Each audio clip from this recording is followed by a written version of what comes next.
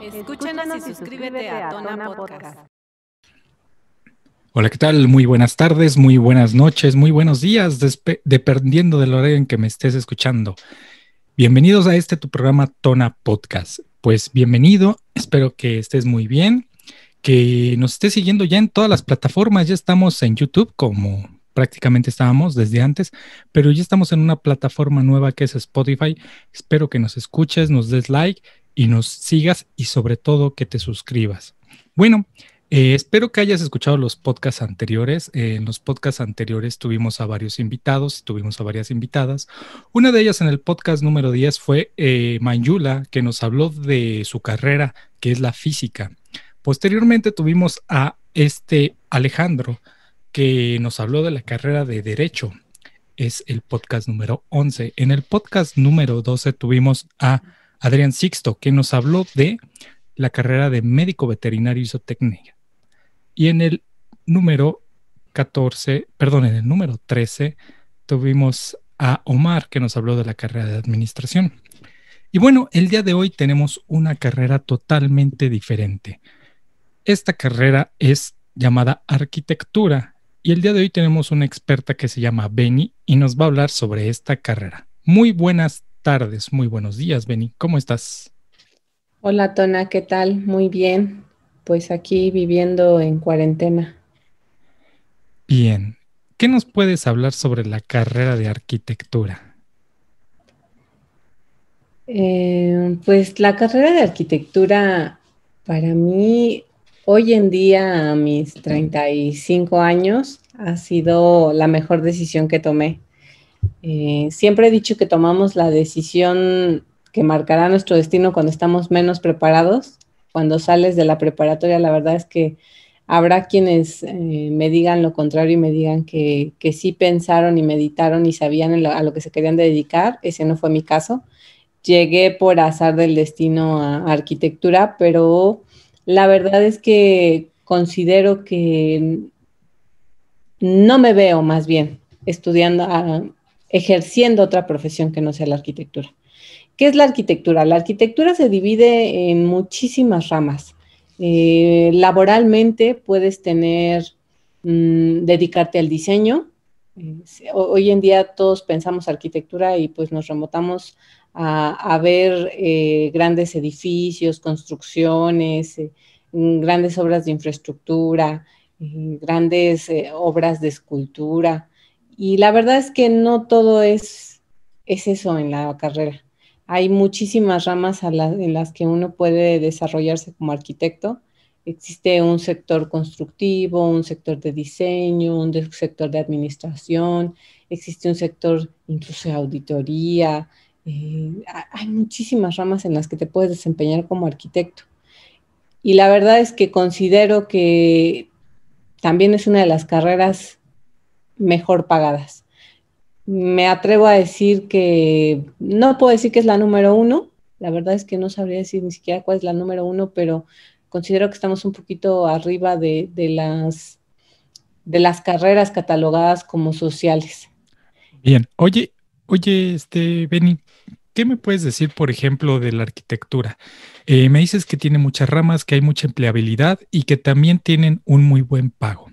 Pero un arquitecto como me lo, mencionaste, hay tantas ramas. ¿Dónde es donde un, mejor, un arquitecto puede aplicar mayormente sus conocimientos? ¿En qué área? Por ejemplo, hay áreas que son de arquitectos paisajistas, hay también eh, planificadores urbanos, donde también los arquitectos, inclusive hay este paisajes y jardines, también ya los arquitectos creo que están ahí, están ahí también haciendo su labor, ejerciendo su labor.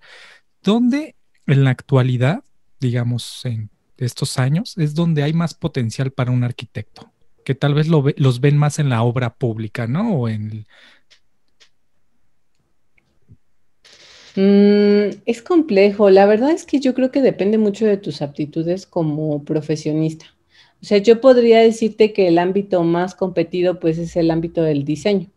Todos como arquitectos salimos de la universidad, universidad y queremos ser diseñadores.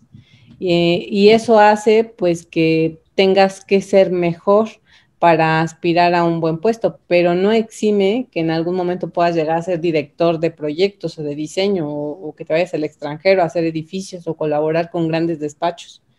Em, yo no me atrevería a decir que hay un área especial, depende de tus aptitudes y también depende mucho de con qué pasión ejerzas el área que tú escojas.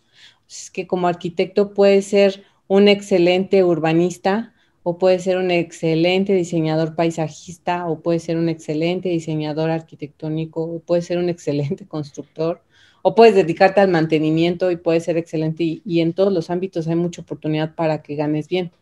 Ojo, con esto no digo que, todas las personas que nos estén escuchando vayan y, se postulen para arquitectura porque es una garantía que van a ganar mucho dinero. También conozco personas que ganan muy poco en el ámbito arquitectónico pero es competitivo. Eh, existe desarrollo. Y pues si tuviéramos que escoger, definitivamente yo creo que lo que más mueve en cantidad de trabajo y quizá no en sueldo, pues es la construcción. La construcción antes de la pandemia, porque bueno, estamos viviendo un tiempo distinto, la construcción era algo que, se vivía día a día y se necesitan arquitectos. O sea, si hoy tú ves a alguien que está pintando las banquetas en la calle, pues viene una empresa detrás y hay un arquitecto que está supervisando todos esos trabajos. Eh, si tú ves a una persona que está cambiando eh, las luminarias de la calle, pues también probablemente ahí nos competimos en el ámbito constructivo, nos competimos un poco con los ingenieros civiles. Somos muy distintos, hay como un duelo de poder eh, al ejercer eh, se dice que pues, a los ingenieros no les gustan los arquitectos y a los arquitectos no les gustan los ingenieros. Yo sin, sin tomar este, un partido por alguno de ellos, creo que arquitectura tiene un panorama muy global porque desarrolla desde, también depende de la universidad en donde la estudies. Yo estudié en la UNAM y en la UNAM nos fomentaban la autocrítica y el conocer, el conocer un poco de todo y tener una autonomía y una proactividad para diseñar y para dar soluciones. Y eso te da una agilidad mental a la hora de llegar a un trabajo.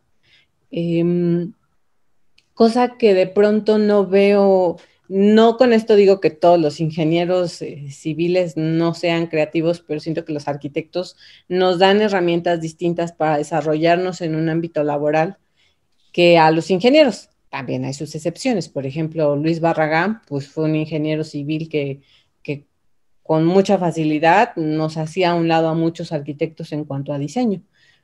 Hay excepciones, pero creo que pues la, arquitectura es, em, desde los inicios en la carrera, te permite tener una autocrítica, un autocontrol, y eso te da muchas herramientas para después insertarte en una vida profesional. Y ahorita que acabas de decir eh, sobre la pelea de los arquitectos y, los ingenieros, para ser arquitecto, ¿qué habilidades tiene que tener una persona para lograr ser o postularse para ser arquitecto?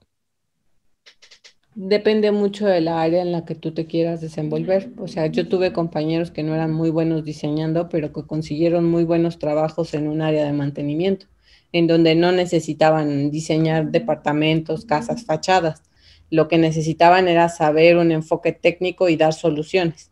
La realidad es que yo creo que en todo trabajo, independiente si eres médico, veterinario, arquitecto, lo que tú decidas o tengas, lo que te va a dar un plus es la proactividad, la actitud con la que tú llegues a desempeñarte en un trabajo, que dé soluciones. Si tú das soluciones en un trabajo, la verdad es que te va a ir bien. Pero si tú no tienes una visión para dar soluciones, para antelarte a lo que pueda suceder, si tú todo el tiempo estás esperando que alguien llegue y te diga qué hacer, pues la verdad es que tienes un paso atrás. Y creo que como arquitecto, desde la formación de arquitectura, nos inculcan mucho, eh, por ponerte un ejemplo, eh, las materias de arquitectura se dan en talleres en la universidad se dan en talleres y, tú no tienes, o sea, tienes clases de tronco común que si llegas, te sientas y te dan la teoría y escribes, pero la mayor parte de tus horas las tomas dibujando. Entonces llega un día el profesor y te dice, el proyecto este, de este mes va a ser el diseño de una clínica, una clínica con especialidad en obstetricia. O sea, si yo hoy me siento y te digo a ti, Tona, tienes que diseñar una clínica en obstetricia, a lo mejor tú me dices, pues yo no tengo ni idea de qué, de qué es o qué necesita. Y así estamos todos los arquitectos cuando nos dan ese proyecto en las aulas. Y nosotros tenemos que ir e investigar qué se necesita, cuáles son las áreas, quiénes son las personas que lo van a operar, qué capacidad va a tener de personal, el entorno, eh, la población, cuántas son mujeres, qué tasa de natalidad tiene. O sea, es un estudio muy grande y eso te va dando una apertura mental para solucionar y antelarte y estar pensando aquí, aquí cabe eh, una zona de expulsión, necesitamos una zona en donde se resguarden los materiales, eh, los desechos químicos, ¿por qué? Por norma. Y te lleva tú solito, o sea, el profesor no te lleva de la mano y te dice, oye, ¿sabes qué? Vete a ver a la, a la Secretaría de Salud o sabes qué? Ve y busca el libro tal en la biblioteca. La verdad es que tú ya tienes un tiempo determinado y tienes que investigar de ese tema y tú solito vas y buscas si vas a buscar a tu vecino que es doctor y lo vas a entrevistar y le vas a preguntar cómo es cuando llega una mujer que va a parir, en dónde la dejan y después en dónde está la zona de expulsión y después de ahí a dónde la pasan y en dónde resguardan a los bebés. O sea, todo eso tú tienes que definir cómo funciona. Y durante el diseño del proyecto, tus asesores, que no llamamos profesores, se llaman asesores, te van preguntando, oye, tú ya contemplaste que necesitas tener una planta de emergencia, porque si se te va la luz y tienes a alguien conectado, pues se te puede morir. Entonces, no se vale decir, no, no lo había contemplado. O sea, no se vale cuando, cuando ya estás por finalizar el tiempo que te destinaron para ese proyecto, se vale a lo mejor en un inicio. Entonces, como, como arquitecto vas pensando mucho en, cómo solucionar, cómo, cómo diseñar em, en función de una sociedad, de un entorno, de una necesidad, el levantamiento de necesidades e investigar. Entonces...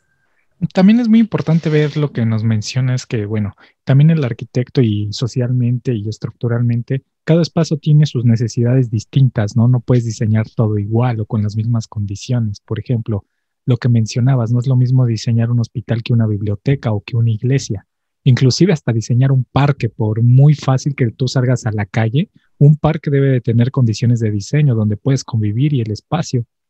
Eh, ¿Qué me puedes decir sobre estas distintas formas de imaginar el espacio en distintas áreas? ¿Qué, habilidades tienes que desarrollar para esto?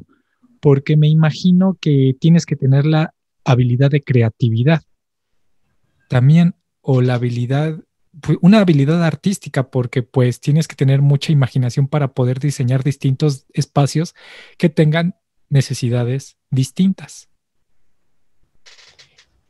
Yo puedo decir que hay arquitectos que son más creativos que otros.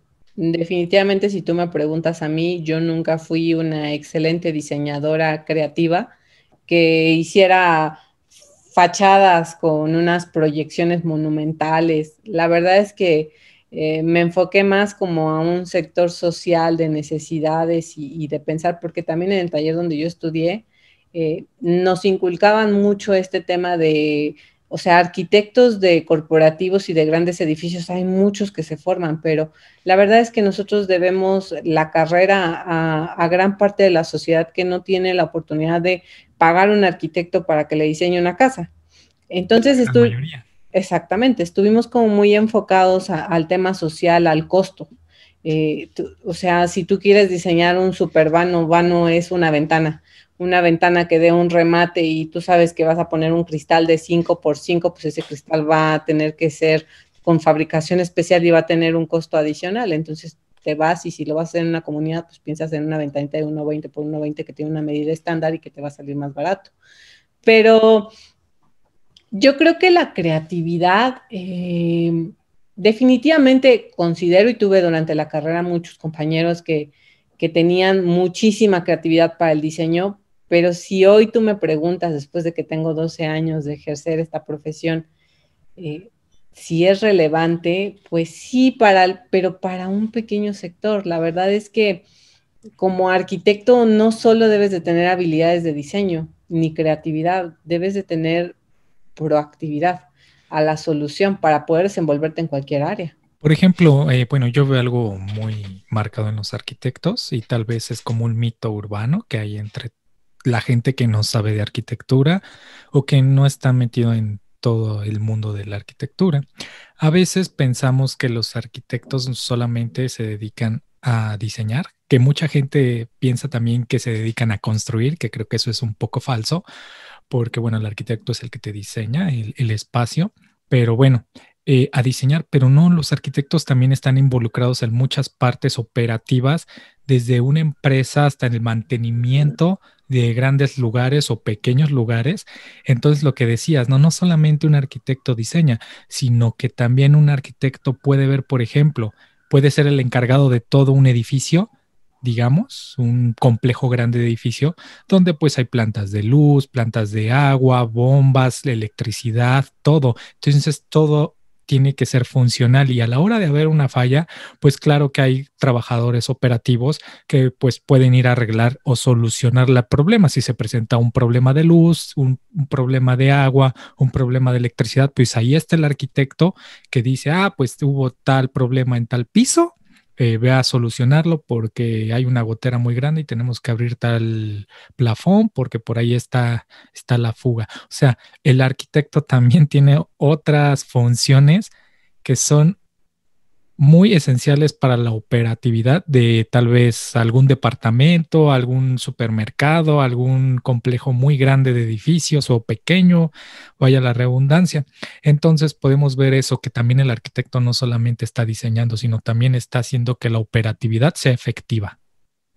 Sí, de hecho, si tú ves hoy a grandes empresas, por ejemplo, Walmart, Chedraui, em, Banco, Bancomer, Scotiabank, eh, Liverpool, el Palacio de Hierro, todas esas empresas tienen un área de nos van a, a ver si nos patrocinan, ¿eh? A ver si nos patrocinan. Ajá. Échate las marcas, ¿eh? todas esas empresas tienen un área de expansión. De hecho, casi todas las, todas las empresas tienen, aunque sea un área de mantenimiento. Es más, hasta unos edificios pequeños, digamos, tienen área de mantenimiento, porque a todos se le tiene que dar mantenimiento y bueno, expansión más a una empresa, pero también mantenimiento. Y bueno, estás hablando tú en expansión. Ajá. Tiene un área de, me estabas diciendo un área de expansión y mantenimiento. Ajá. Todos los grandes corporativos tienen un área de bienes raíces. Claro. Y muchos arquitectos trabajando ahí. ¿Qué hacen los bienes raíces? Buscar eh, locales que sean rentables, que que tengan rentas bajas, que estén bien posicionados, que tengan un, eh, hacer un estudio para determinar que el punto de venta que pongan ahí va a vender.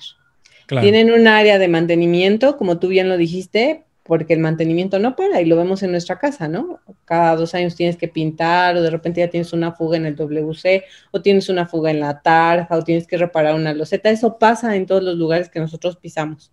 Tiene un área de expansión porque la mayor parte vivimos en una era en, la, en el boom de la expansión antes de la pandemia y, todo el mundo, bueno, todas las grandes empresas le tiraban a tener más puntos de venta para tener mayor presencia. Y ahí sí o sí hay arquitectos. Incluso en el área legal yo he encontrado arquitectos, los que ven temas de permisos y licencia, gestoría ante gobierno, muchas veces hay arquitectos. Hay un área de presupuestos que se encarga de revisar los costos para la construcción de la obra.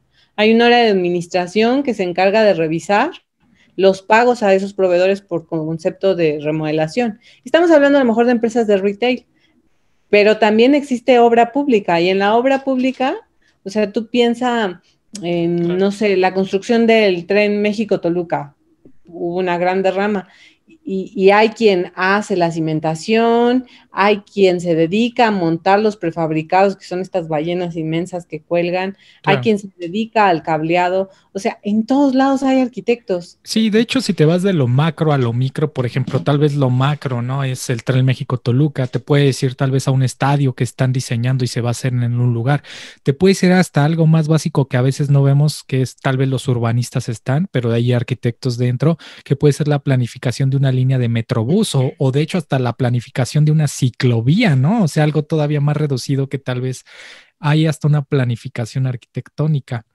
Y bueno, los arquitectos están en todo, tal vez todo donde se ocupe el espacio, creo que, y se modifique el espacio, eh, los arquitectos están inmersos ahí, ¿no? Del espacio básico, todo, hasta la pavimentación de una calle, donde la medida de unas banquetas, ¿no? Que a veces no lo vemos, pero hasta en la medida de las banquetas puede estar el diseño de un arquitecto, ¿no? Porque, bueno, y dentro de esto quiero que me digas algo y también para los que nos están escuchando, que nos digan aquí abajo qué opinan. Pero quiero que me respondas a algo que ahorita se me vino a la mente, que yo creo que es algo muy polémico ¿Tú qué me podrías decir o qué podrías opinar sobre las obras faraónicas que conllevan un alto mantenimiento? Por ejemplo, vamos. Eh, bueno, vamos a ponerlo como la estela de luz o como el aeropuerto, o sea, obras muy faraónicas que a veces yo siento que hay una tendencia muy marcada sobre la sustentabilidad arquitectónica y en, todo, en todos los niveles. Esto está en todos los niveles, no solamente la arquitectura, en todos los niveles y te quieren vender grandes obras según que autosustentables y a veces no son autosustentables. Necesitan demasiado mantenimiento. ¿Y qué opinas de esto? Y son obras muy grandes aparte. Pues yo creo que es una tendencia. Em, somos un país en vía de desarrollo y, para mi parecer resulta un poco aventurero aventarnos una obra como el aeropuerto de Texcoco eh, cuando traemos tantas carencias en un sector social. A lo mejor yo tengo una connotación un poquito más social y habrá quien difiera completamente de mi punto de vista.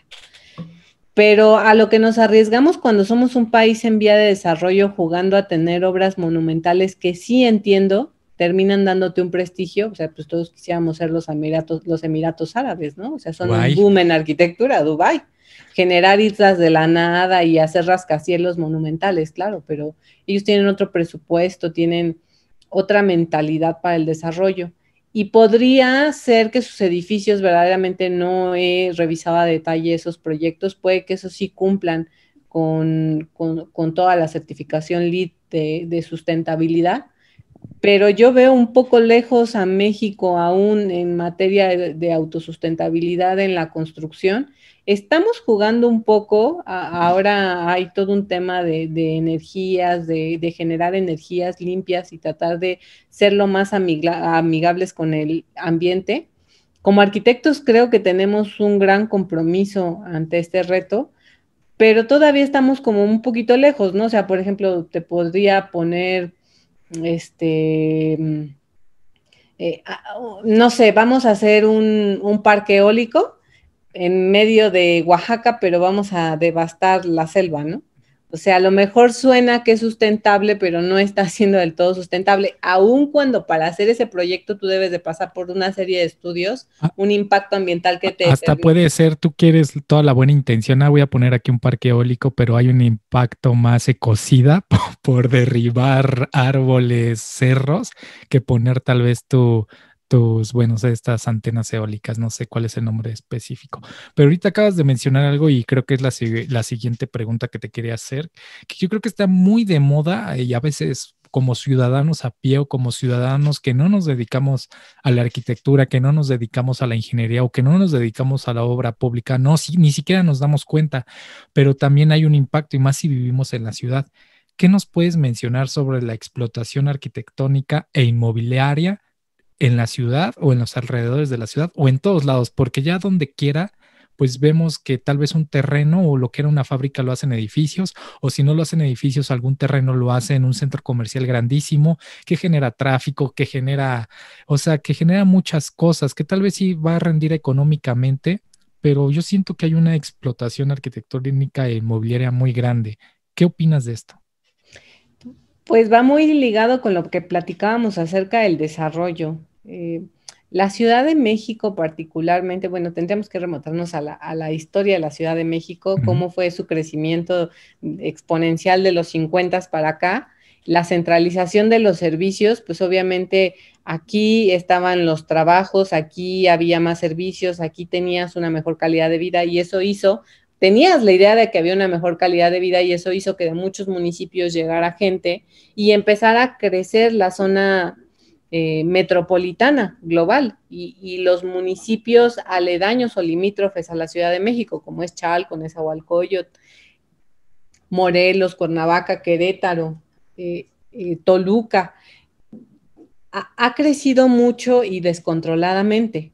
Eh, creo que no hubo una planificación correcta y a partir yo, a partir de que inició el gobierno sin, sin hacer, sin ser partidista, desde que inició el gobierno del PRD en la Ciudad de México, pues se vio que tratamos de ir hacia una metrópoli más cosmopolita.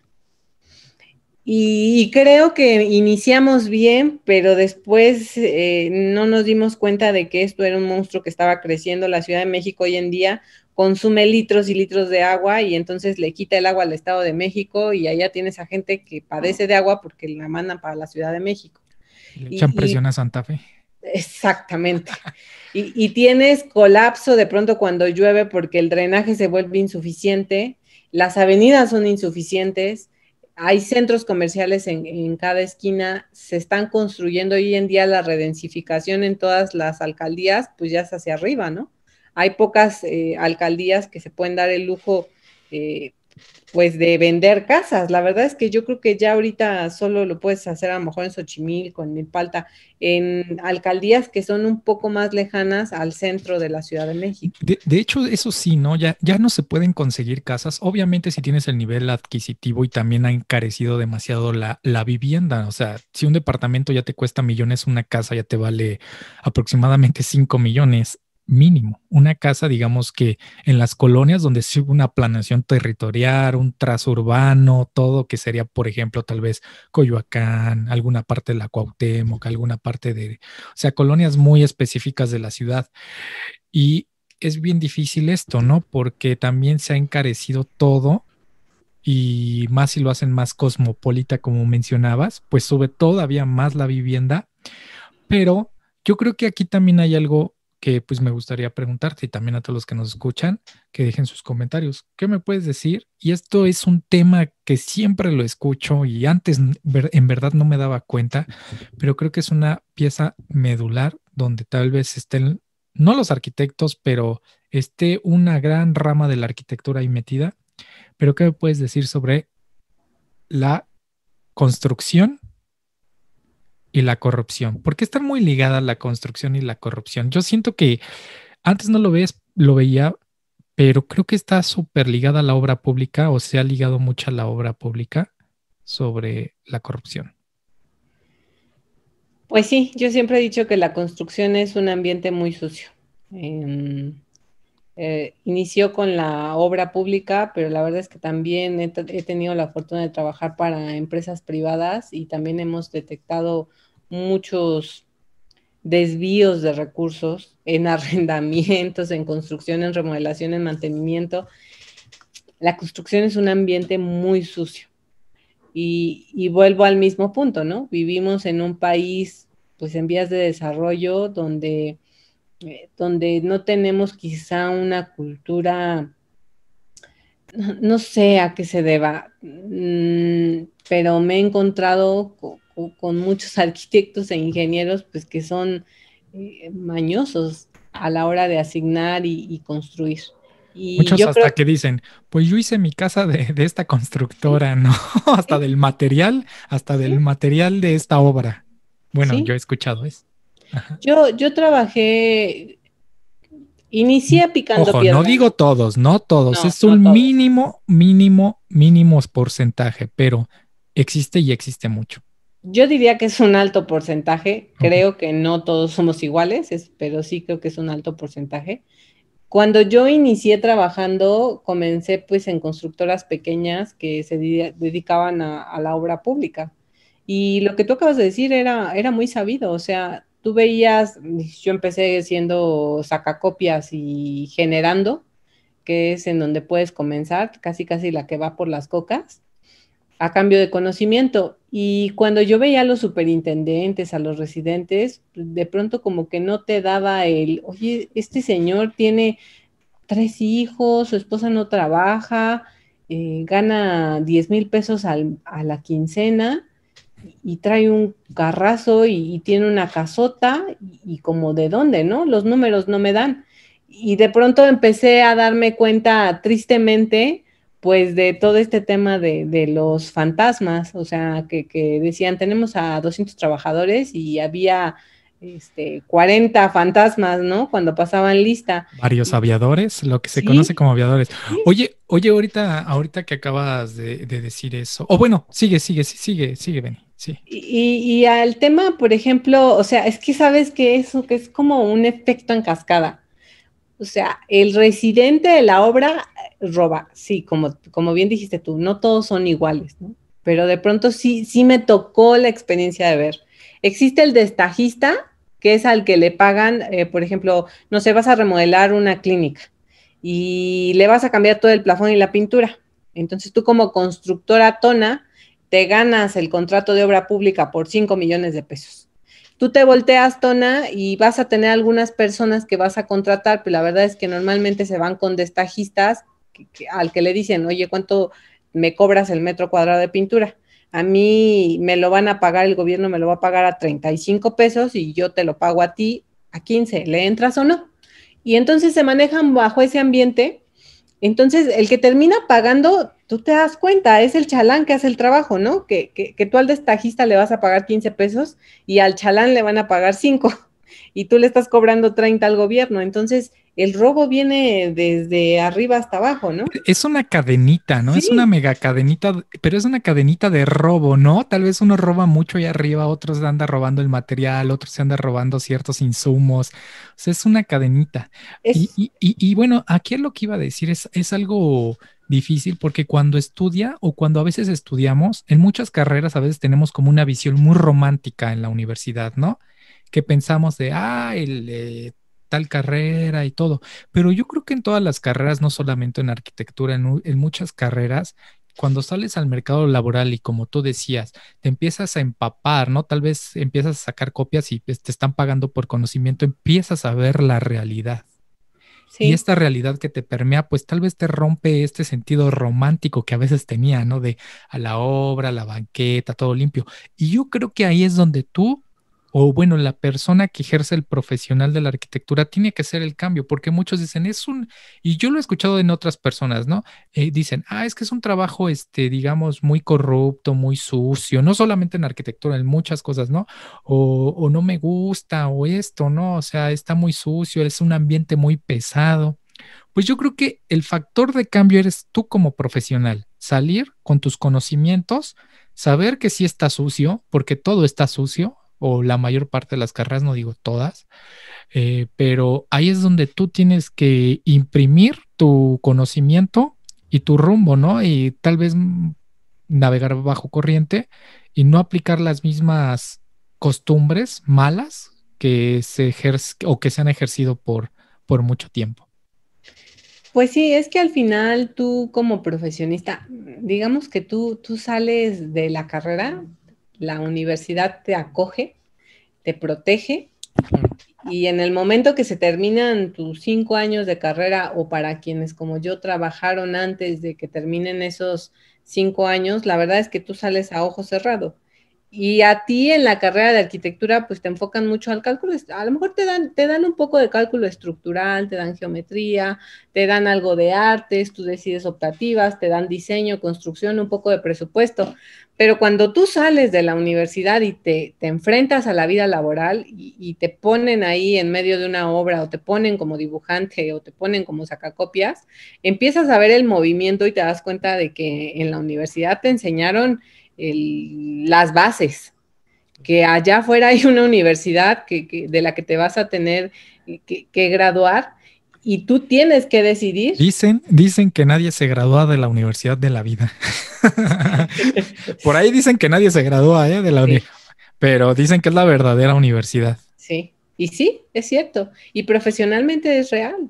Entonces, como profesionista, cuando tú sales y te empiezas a empapar, o sea, por ejemplo, cuando yo salí, yo era mujer y, caí en una constructora. Entonces, eh, este tema del feminismo a mí no me gusta tocarlo porque son como temas muy sensibles, pero sí noté en aquel entonces que yo tenía una desventaja frente a mis compañeros que eran hombres, porque meterte a un ambiente constructivo de obra sucio, en donde tratas con chalanes, con albañiles, con maestros, darte a respetar, cuando no traes todavía todo el conocimiento que te respalda, pues te genera un poquito más de trabajo de lo que le cuesta a tus compañeros. Pero creo que es cuando empiezas a forjar lo que tú dijiste en un inicio, qué es lo que tú vas a querer y en qué te vas a querer formar. O sea, cuando yo empecé a ver todo el tema de, corrupción en la construcción, de, de, desvíos, de que era algo muy sucio, muy descarado, la verdad es que yo dije, me gusta mucho la construcción, me gusta entender cómo se arman las cosas, pero no me gusta lo sucio de la construcción y no me veo eh, corrompiendo mi moral por, por más dinero, ¿no? Entonces decidí que, que finalmente me gustaba la construcción, pero que no era lo que yo quería ejercer toda mi vida. Y, entonces comencé a ver todo este tema de la administración de la construcción y dije que me gusta más, como que siento que es un ambiente un poco más limpio, aunque después también me di cuenta que en la administración de la construcción hay corruptela, ¿no? Porque de pronto para asignar un contrato pides tu diezmo y que te lo doy si me das el 5%. En todos lados hay corrupción. ¿Y, y cómo tú cambiarías todo esto, todas estas malas prácticas? Es que, sabes, viene desde muy arriba. O sea, yo creo que todos podemos poner nuestro granito de arena y decir, yo no le entro. Yo siempre he dicho profesionalmente, yo no le entro. O sea, cada centavo que yo me gano, estoy orgullosa de decir que es lo que me merezco y que no he tenido más dinero por un desvío a lo mejor podría haber hecho mi casa más rápido o podría haber liquidado mi hipoteca o pagar mis deudas más rápido, pero la verdad me siento muy conforme con la manera en la que he hecho las cosas. Se vuelve muy complicado combatir a, hacer un cambio global porque es un ambiente de verdad muy sucio. O sea, hoy hay un, director de obras que, que pide un diezmo por ejemplo, el Seguro Social, ¿no? Tiene un presupuesto que le asignan para remodelaciones y, muchos de esos directores de pronto piden un diezmo para lanzar, o sea, lanzan una licitación y la licitación ya viene amañada. de hecho, iba a eso, de hecho, es, iba a eso que acabas de comentar, que a veces las licitaciones ya están todas amañadas, ya nada más es el puro espectáculo, ¿no? Así, porque bueno, es lo que se escuchaba antes, eh, no sé ahorita, la verdad, en la obra pública no tengo idea, ojalá que no. Pero después decían, ah, sí, iban los concursantes, presentaban sus proyectos, pero pues ya, ya todo estaba mañado, ¿no? Entonces, creo que desde ahí, y creo que también es el truco, ¿no? así es. Entonces se vuelve complicado que generemos un cambio global. Creo que pues el granito de arena tú lo pones y si todos ponemos un granito de arena, pues en algún momento podemos generar un cambio pero es difícil romper, pues tú, tú mismo lo debes de haber sabido cuando salió este escándalo de la Casa Blanca de, Peña Nieto, ¿no? Claro. Una adjudicación de licitaciones, pago de favores. De, hecho, ah, cuando te, decía la, pregunta de, por ejemplo, del mantenimiento de las obras faraónicas, yo me acuerdo mucho y yo lo, te lo mencioné porque eh, muchos políticos o muchas personas eh, hacen una gran obra y dicen, si tal vez me, me licitan mucho, si están mucho los de auditoría atrás de mí de los números, el negocio ya no va a ser eso, robarme lo de la gran obra, sino lo del mantenimiento. ¿Por qué? Porque tal vez ahí yo tengo mi empresa de, no sé, de limpiar cristales o toda la obra es de cristal, entonces necesita demasiado mantenimiento de limpiar, ¿no? Los cristales. Entonces también es un super negocio eso, todo el mantenimiento. Sí. Entonces, buscan muchas maneras, pero pero bueno, eso es como lo malo, ¿no? no yo creo que no, todo es lo malo. Yo creo que tiene mm, de calle más cosas buenas que malas. ¿Y qué me podrías decir sobre las cosas buenas? Ya vamos a, dejar atrás lo malo que tiene, que es como la corrupción, lo que mencionabas. Pero, ¿qué es lo mejor que tiene la arquitectura? Pues... Lo em, bueno. Lo mejor que ha tenido para mí la arquitectura es esta capacidad de solucionar eh, problemas, si lo podemos llamar problemas, o sea, es que a ti te forman. ¿Puedo, entrar tantito antes de que inicies? A mí lo que, bueno, a veces vemos un edificio algo, pero también resuelve problemas sociales, ¿no? Que a veces ni siquiera vemos, o sea, tal vez, o sea, problemas de movilidad, es más hasta de sentimiento, ¿no? De emociones, un espacio te puede hacer sentir, yo creo que, bueno, eso es mi sentir de, de este punto de vista, ¿no? Que a veces no lo ves te, hace sentir un sentimiento, felicidad, muchas cosas y, que resuelve problemas también sociales, ¿no? Así es. Tú, no sé si recuerdas ahora que inició lo de la pandemia, había un, señor que se volvió muy famoso porque puso un gimnasio por allá por el norte de... barras de praderas, barras de praderas, los, del Valle del Mamado, se llama, ya no recuerdo su nombre, pero sí es Ecatepec, creo algo así. Eh, sin miedo al éxito, son los de sin miedo al éxito. Exacto, de ahí nació la, frase, bueno, se, viralizó la frase sin miedo al éxito. y, tú te das cuenta de la mejora que un espacio puede generar en una sociedad. Em, para mí eso ha sido maravilloso. Definir, yo siempre he dicho que no necesitas ser un millonario para tener una caja, una casa que, te acoja y que te haga sentir a gusto puedes tener una casita de, 5 por 10, 50 metros cuadrados en una, en una planta o en dos y puedes hacer maravillas con un buen diseño y con un poco de presupuesto. Entonces, la verdad es que a, mí como, como arquitecta eso me encanta. Ya sea que te dediques al tema diseño de espacios o que te dediques hacer un diseño como más urbano en donde hagas a lo mejor un parque y qué padre, ¿no? O sea, qué padre hacer un parque en una zona donde ya estudiaste previamente que, hay una gran tasa de, de, jóvenes que se corrompen o que se pierden en las drogas y que necesitan actividades o que necesitan que ese parque tenga clases o prepa abierta o que metas actividades que mitiguen eh, todo, todo este tema social que, pues no vamos a cambiar, pero que sí podemos mitigar un poco. Entonces, como arquitecto, eso es lo que me gusta. O sea, que, yo creo que lo mejor es que tienes la habilidad para desempeñarte en cualquier lugar, porque tienes la habilidad para diseñar cualquier espacio. O sea, como arquitecto, no, no puedes decir, existe como en la medicina que te especializas en algo. Claro. Hay arquitectos que se dedican a los hospitales y tomas diplomados para formarte en construcción de hospitales, pero finalmente tienes una formación que igual si te dedicas a construcción de hospitales y mañana te llega un vecino y te dice, oye, quiero diseñarme una casa en Cuernavaca, le entras, pues tienes todas las facilidades para hacerlo.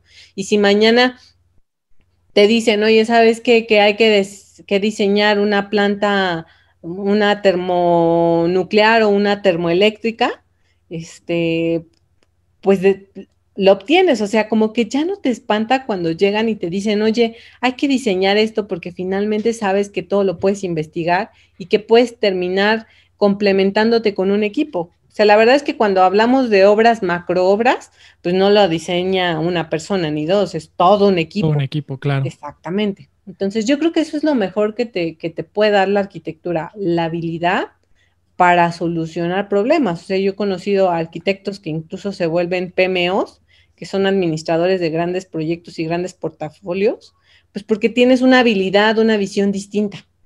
Claro. Y bueno, yo creo que lo importante que acabas de decir también, cómo puede cambiar, ¿no? El entorno social cuando pones algo, lo que mencionaste de los chicos de barras de praderas, ¿no? Y, me trae mucho el recuerdo en Iztapalapa, ahí por los frentes, eh, yo recuerdo mucho, son unos departamentos muy pequeños para los que nos escuchan, toda la gente estaba en las calles o sea, la gente no le gustaba estar, y menos yo creo que ahorita en verano, porque pues se acaloran mucho en su departamento. Toda la gente estaba en las calles y era un, era un lugar de mucha adicción, de mucho, pues la gente no estaba en su casa, ¿no? Mucha delincuencia por lo mismo, ¿no? Entonces, si no hay una buena planificación del entorno, pues esto puede generar problemáticas sociales. Sin en cambio, si hay una buena planificación del entorno, si haces cambios en el entorno, pues esto puede mejorar en la vida de las personas. Así es. Y fíjate, yo creo que en este tema de la arquitectura de los frentes fue un rotundo fracaso porque creo yo. Pero es que, es que, bueno, eh, ahí, ahí va, ahí, ahí va el dato histórico. es que toda la gente que, bueno, que llegó a los frentes fue a finales de los ochentas, fue inicios de los noventas por el temblor. Fue gente que que se quedó sin casas y les construyeron una casa emergente en terrenos también emergentes que estaban en Iztapalapa.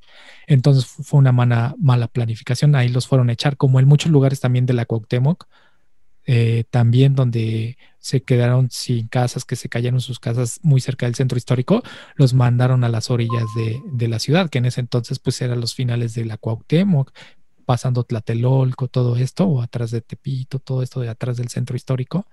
Entonces es todo esto. Pues es que, ¿sabes? O sea, entiendo que ante una contingencia, pues lo que hay que hacer es dar una solución. Pero también va muy de la mano pensar que, no necesariamente. Pero no la más rápida, yo creo, ¿no? Exacto, no la más rápida y tampoco representa que, eh, que te gastes mucho dinero. Hay un proyecto muy bueno que, que hicieron, me parece que fue en Brasil, un proyecto de una casa para una empleada doméstica. Es un, hay quien tenga oportunidad de buscarlo. Es una casita que está en un terreno muy pequeñito. Es una casa con sin acabados, es con, acabados aparentes, o sea, el ladrillo está expuesto, la losa está expuesta, pero quien de aquí de tus radio escuchas eh, se dé a la tarea de buscarlo, cuando lo vea se va a dar cuenta de, qué maravillas puedes hacer con poco dinero y con poco espacio, pero con mucha planificación. Como arquitecto. No tienes que tener la, no tienes que tener la fachada de un partenón, ni, ni las puertas de cobre, ni, el mal gusto, ¿no? Así como estilo Huicho Domínguez. Yo creo que también tienes que saber ahorrar costos y un diseño bonito y no necesariamente con chapa de oro tus manijas, nada. O sea, como dices, tienes que, puedes tenerlo hasta con puro tabique, pero un buen diseño, un buen, no sé, es algo. Una buena planificación, una buena, creatividad. Eh, y, un buen manejo de tus recursos, el uso y, y, la eficiencia, que eficientes como arquitecto los recursos de tu cliente. No dudo que es como cuando vas, no sé, al dentista o al médico y, de pronto te sacan una que otra consulta, pues para sacar una que otra, un poquito más de dinero, ¿no? O sea, no dudo que hay muchos arquitectos que sean así, pero creo que también hay muchos que no son así. Entonces, yo creo que cuando alguien se acerca a ti para pedirte un proyecto, pues la verdad es que te está depositando una gran chamba. Lejos de lo que vas a cobrar, te está depositando la confianza de diseñar el espacio en donde espera vivir el resto de su vida, ¿no? A menos de que sea una persona que se encargue de vender. Eh, pero la verdad es que yo creo que pues debes de hacer tu chamba lo mejor posible y tratando de eficientar al máximo el presupuesto y, tratando de ser realista, ¿no? Porque yo he tenido clientes, o sea, trabajo para, para el sector privado, pero aparte hago trabajos por mi cuenta. Y he tenido clientes que de pronto dicen, no, bueno, es que yo me imagino una mansión, una casa súper grande, y, y, de pronto pues debes de tener esa sensibilidad para decirles, es que, ¿saben qué? O sea, con esa casa que ustedes están imaginando, pues la verdad es que se van a gastar unos 4 millones de pesos, cuentan con los 4 millones, y bajar a la gente a la realidad, ¿no? O sea, de pronto no tenemos eh, como usuarios eh, la cultura de pensar cuánto cuesta la construcción. Y es bajarlos un poquito y aterrizarlos y decirles, no pasa nada si diseñamos una casa a la mitad del, del espacio que tú te imaginas, porque si la diseñamos bien, o sea, vas a vivir bien. Y, ¿Y qué onda si acá, mira, podemos meter? Yo tuve apenas un proyecto en donde le dije, oye, ¿no te parece que metamos este tema de, manejo de residuos, que tratemos el agua jabonosa, que, almacenemos el agua de lluvia, que, que, busquemos la manera de hacer composta para mejorar el área de jardín que vas a tener? Y como que eh, cuando tú les dices, oye, ¿sabes qué? Y si metemos un calentador solar, pues la verdad es que tú vas a tener un ahorro del 60% en consumo de gas y en cuanto a agua, pues vas a tener un gran ahorro y esos ahorros pues van sumando, ¿no? En cuanto a luz, si tú metes este, lámpara LED o si metes por ahí unos paneles solares que, que iluminen el área exterior, pues la verdad es que vas a tener un ahorro a lo mejor del 20%. Y la gente, pues entonces dice, sí, o sea, puedo vivir en una casa más pequeña, que sea un poco autosustentable, porque autosustentable ya lo platicamos al inicio, pues es muy aventurero, ¿no? Entonces estamos muy lejos de llegar a ser autosustentables, pero que no sea tan agresiva con el medio ambiente. Y, entonces tú les presentas un esbozo y, de pronto quien te decía es que yo quiero una casa de 300, 500 metros cuadrados, te dice, no, es que sí, creo que sí, creo que ni siquiera necesito un espacio tan grande, porque esa es tu chamba como arquitecto, sentarte y decirles, a ver, ¿ustedes cuántos son? No, pues somos cuatro. ¿Y para qué quieres 20 recámaras? No, porque a veces viene mi suegra, pero tu suegra no siempre está, ¿no? Y piensa que tener tres recámaras que no vas a utilizar representa la larga mantenimiento. Entonces puedes hacer una bestia de construcción y después ya no puedes con el mantenimiento porque ya se te cayó la teja, porque ya se te metió el agua, porque ya se picó el piso, porque las puertas, porque la polilla, porque ya creció la hierba, porque ya el salitre, o sea, es una rentita. Claro, el caso también es de que el espacio que diseñes sea un espacio útil y, que sea un espacio de uso, no algo que a ella después ni vayas y, y como dices, ¿no? Este, le tengas que dar mantenimiento a algo que ni siquiera se usa y te cueste más caro. Así es. Y como cierre, eh, bueno, antes que nada, muchas gracias a Benny por, por decirnos, ¿no? Lo que estudia un arquitecto, todas las cosas que ve un arquitecto, no solamente diseña, sino todo lo que ya escucharon. Y algo muy importante que también iba mencionando desde los otros capítulos, ¿no? Por ejemplo, con Sixto en el capítulo antepasado de un veterinario que también nos decía, ¿no? Es que tienes que asesorarte con gente profesional. Y claro, este, si quieres hacer una casa, diseñar una casa, pues tienes que asesorarte con alguien profesional, como decía eh, aquí la arquitecta Benny, de que pues te vas a ahorrar mucho dinero en vez de gastar más dinero, ¿no? ¿Por qué? Porque un arquitecto ve todas esas fallas que en un futuro, si alguien que no tiene los conocimientos, pues le van a salir, ¿no? Como fugas, como máscara a la luz, como un, un diseño de casa que tal vez te costó más el materiales y pues gastaste más en todos estos recursos. Entonces es muy importante que también vayan con alguien profesional en esta área. Sí, es correcto. Hay que fomentar que, que dejemos la, autoconstrucción en la medida de lo posible y, quitarnos el prejuicio, ¿no?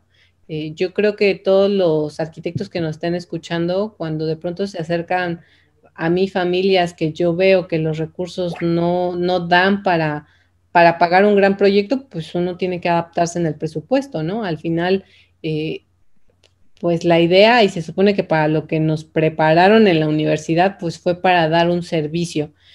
Yo no digo que regalemos todo el tiempo el trabajo, pero hay excepciones, pues en las que en las que tenemos que ajustar el presupuesto y para toda la gente que nos escucha, efectivamente tú lo dijiste, a veces tú dices, no le voy a pagar 10 mil pesos a un arquitecto, prefiero pagarle al albañil que no me va a cobrar nada, pero lo que no sabes es que le va a poner dos o tres bultos más de cemento o se va a llevar dos o tres bultos más de cemento y, después te va a poner una puerta donde no iba y vas a tener que demoler y el día que haya un sismo no te coló correctamente. Y Estar todo descuadrado. Exactamente. y después... Y son problemas a la larga, ¿no? Son problemas a la larga, o sea, son problemas a la larga por querer tener un ahorro al final va a ser un gasto.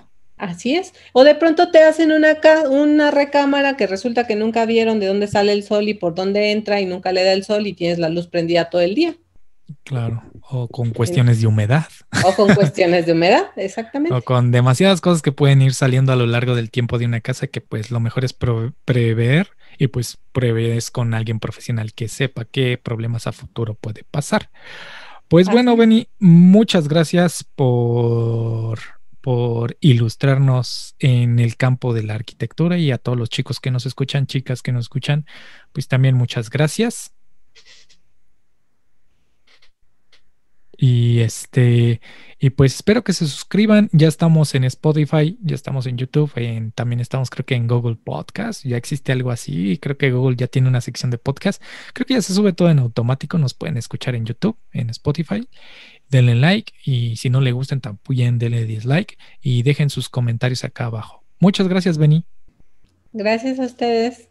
Gracias, esto fue Tona Podcast. Yo fui el gallito Draft y espero que se encuentren muy bien. Hasta luego, nos escuchamos en la próxima emisión.